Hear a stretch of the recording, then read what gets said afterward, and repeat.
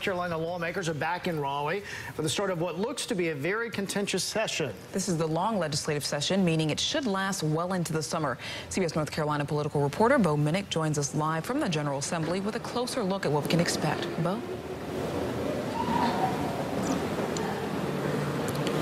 Vierschel lawmakers are going to be sworn in today, and that will happen in both chambers. The Senate over on this side and the House over on this side. They also will be electing their officers today. What you won't see, you won't see any debate on the floor about laws or bills today.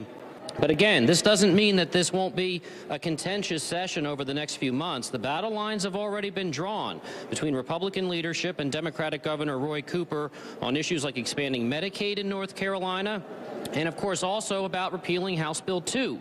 I asked lawmakers today how they foresee both sides being able to work together. There is clear mistrust on both sides. I could eat up your time right now trying to assess blame for that. That gets us nowhere.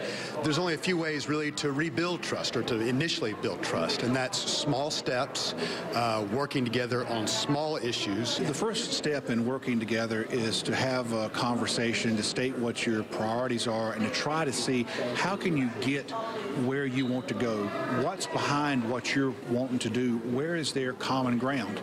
Um, the governor thus far has not really shown an effort to do that.